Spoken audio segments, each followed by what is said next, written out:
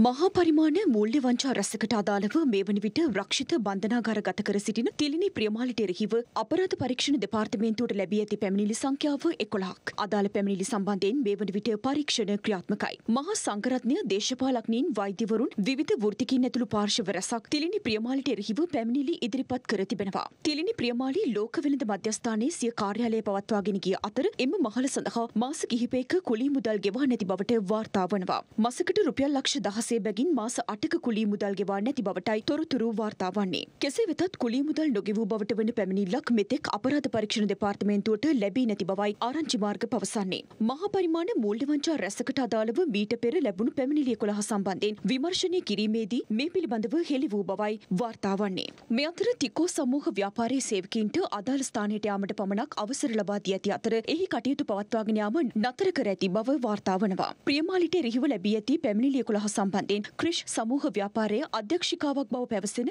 ජානකී සිරිවර්ධනගෙන් ඉදිරියේදී ප්‍රකාශ සටහන් කර ගැනීමටද නියමිතයි. මේ අතර තිලිනි ප්‍රියමාලී හෙලිකොප්ටර් යොදාගෙන කතරගම වන්දනාවේ ගිය බවට මේ වන විට තොරතුරු අනාවරණය වී තිබෙනවා. එක් වන්දනා අවස්ථාවකට ඇය වැය කර ඇති මුදල රුපියල් මිලියනක් බවයි වාර්තා වන්නේ.